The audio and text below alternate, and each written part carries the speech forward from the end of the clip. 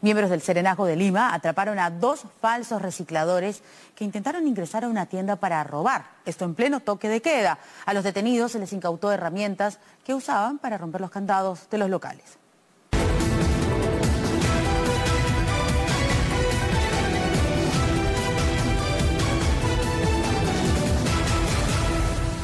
Son dos, uno en bicicleta y uno de polera roja se dirigen a Pierola, van a meterse a Sandia. Rápido, rápido, se, han montado encima de la bicicleta, confirmen.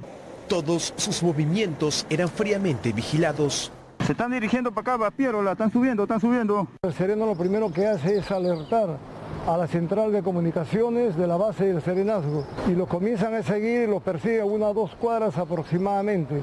Bajo la fachada de recicladores, estos dos hombres pretendieron ingresar a esta tienda y llevarse los productos que habían. Hasta allí llegaron en bicicleta y durante el toque de queda para no levantar sospechas. Sin embargo, su plan se vino abajo, ya que el serenazgo de la comuna limeña logró descubrirlos, grabarlos y atraparlos en el momento que rompían los candados de la puerta principal de su objetivo. Bájate la bicicleta, bájate, bájate, agárralo y agárralo, compadre. Ah, reciclas, ¿no? Reciclas y sayas. ¿Y el candado? ¿Dónde está el candado?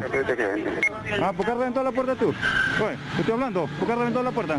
Oh, ya te compadre, ya te he grabado. En este año 2021 somos un aproximado de más de 1.800 serenos que custodiamos las calles de Lima. Reafirmamos nuestro compromiso para seguir sirviendo a la sociedad en todo lo que se pudiera presentar y prevenir la comisión de hechos delictivos. Gracias a estos serenos, los presuntos delincuentes identificados como Anthony Benítez Vela y Alejandro Vilca Marapi no pudieron robar nada de este inmueble ubicado en la cuadra 9 de la avenida Abancay en Cercado de Lima. Al efectuarse el arresto ciudadano, se hallaron las herramientas que usaron para intentar cometer sus fechorías. bota la llave que tiene. Ahí están los candados, todo lo que está reventando. ¿eh? Lo registran y le encuentran una cizalla, un alicate y un desarmador circunstancias que llega un patrullero de la comisaría de Cotabambas y se produce la detención por parte de la Policía Nacional, quien los conduce a la comisaría de Cotabambas.